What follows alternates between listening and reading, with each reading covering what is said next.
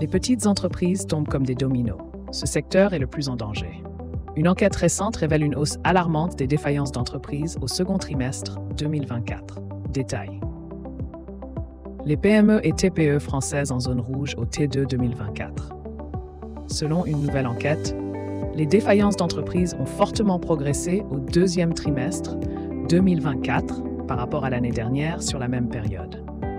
Les chefs d'entreprise craignent le pire en dépit des résultats des élections législatives.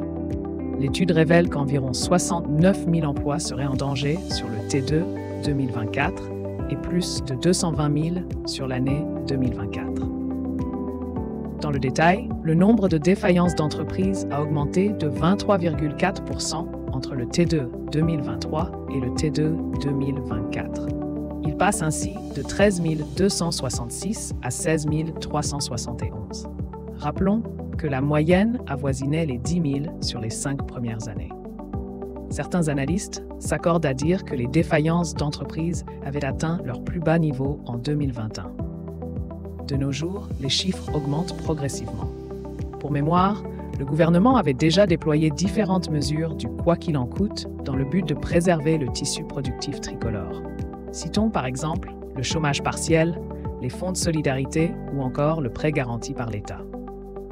Idem pour le report des cotisations sociales URSAF et de la suspension des tribunaux de commerce. Enfin, des entreprises ont été piégées par les échéances de remboursement des PGE. À cela s'ajoute la fermeture progressive du robinet des aides. En tête de liste, il y a notamment les TPE et les PME tricolores. Même les micro-entreprises françaises sont menacées. Toujours selon cette étude, les micro-entreprises enregistrent la plus forte hausse des défaillances, soit plus 26% Elle découle majoritairement du second trimestre 2024, 75% Il s'agit en l'occurrence d'employeurs implantés sur les territoires de l'Hexagone. Derrière les micro-entreprises, il y a les PME de 50 à 99 salariés, gravement touchés par des défaillances. Elles enregistrent une hausse brutale du nombre de défauts, soit plus 48 à cela s'ajoute une forte poussée des liquidations judiciaires, soit plus 91% En tête de liste figurent les entreprises du transport et celles de la sécurité privée. A priori, les PME de plus de 100 salariés et les entreprises de taille intermédiaire, ETI, échappent de justesse à ces défaillances inquiétantes. Pour elles, la situation est plutôt détendue.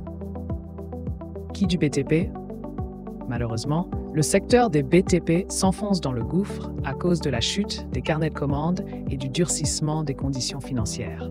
Les entreprises qui en découlent se trouvent ainsi dans la zone rouge en raison notamment de la crise immobilière. D'après Olivier Garnier, directeur général de la Banque de France, la maçonnerie est le secteur qui engendre le plus de faillites. Dans le bâtiment, les carnets de commandes sont très bas. Il faut remonter à 2015 pour retrouver ces niveaux-là. D'autres secteurs sont touchés par cette situation. Selon la même étude, il s'agit du commerce de véhicules automobiles, de la pharmacie et de l'industrie pour les entreprises dédiées aux déchets.